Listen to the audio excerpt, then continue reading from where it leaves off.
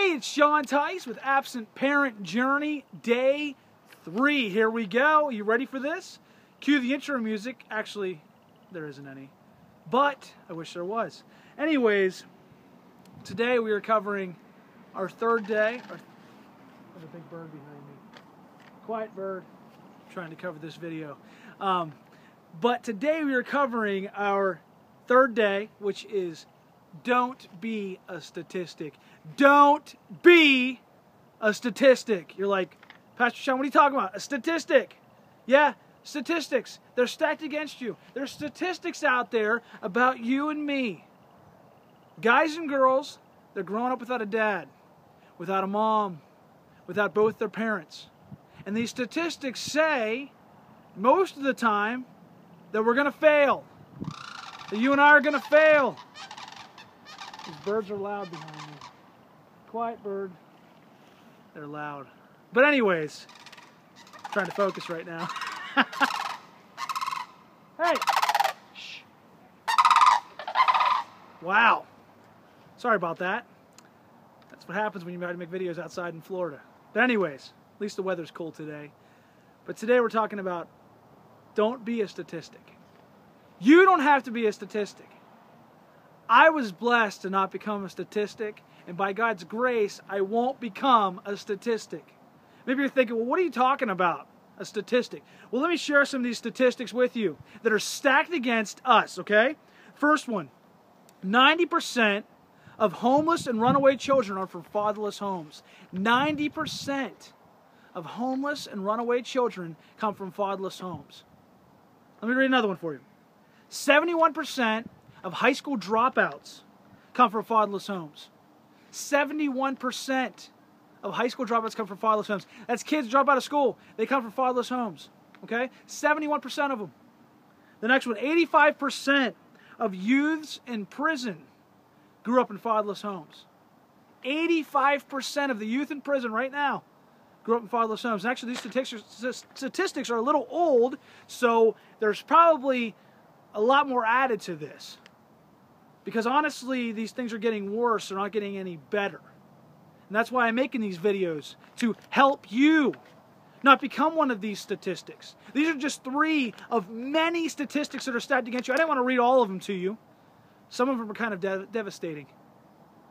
But, if you Google it, if you want to find out more, go ahead. But what I want to show you in this video is that you, I'm talking to you, you right there, the one right there, pointing at you. You do not have to become a statistic. Let me, let me show you. You. You don't have to become a statistic. I don't have to become a statistic. You don't have to be. You don't have to be a runaway. You don't have to be uh, dropping out of school. You don't have to end up in prison. You don't have to follow all the statistics like everybody else has. Just because you're growing up without a mom, just because you're growing up without a dad, just because you're growing up without both your parents, you live in foster care, you live in an orphanage, you live with an uncle and aunt, a grandparent, whatever it is, just because you're growing up like that, you don't have to fail. You're like, man, Pastor John, getting passionate. Yes, because you don't have to fail. I had people tell me that I didn't have to fail, and I want to tell you the same thing. You don't have to fail. You don't have to become a statistic. You can be successful. God wants you to be successful.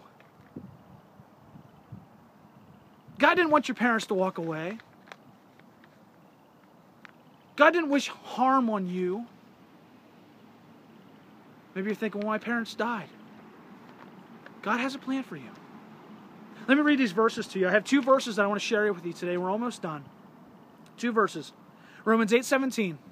It says, And if children, then heirs of God, I'm sorry, then, and if children, then heirs, heirs of God, and joint heirs with Christ, if so be that we suffer with him, that we may be also glorified together. We're going to suffer in this world. Just because you're a Christian doesn't mean you're not going to suffer. Just because you're a Christian doesn't mean that, that suffering is you're exempt from it.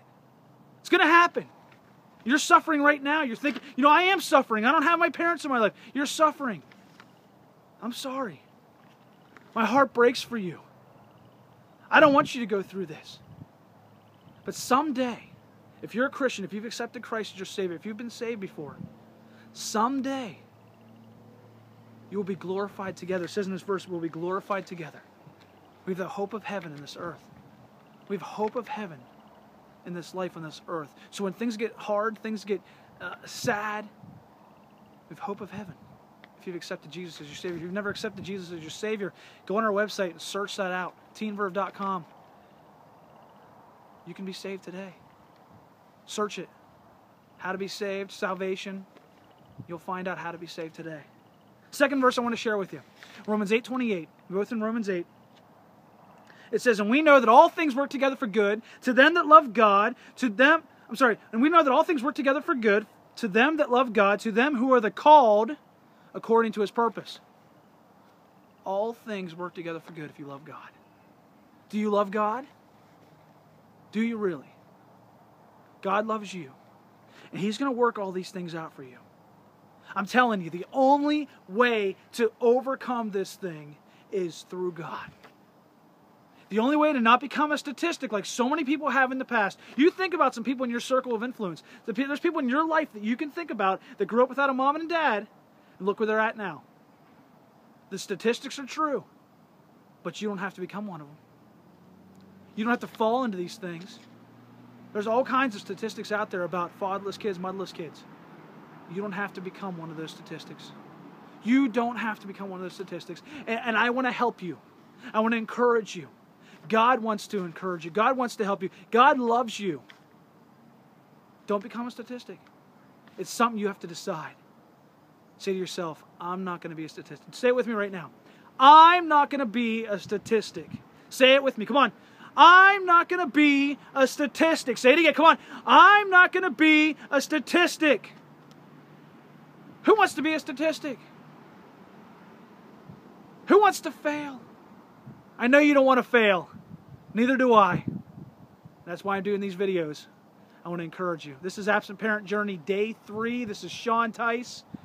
Follow me on YouTube, Facebook, Twitter, log into our website. Actually, go to our website, teenverb.com, and, and get on our website and, and subscribe to our website so that you can continue to, to be, have access to these videos and stuff, okay? Absent Parent Journey. We want to encourage you as you grow up without that dad, without that mom, without both. We want to help you. Have a great day. Until next time, day four is coming soon. Have a great day. Thanks.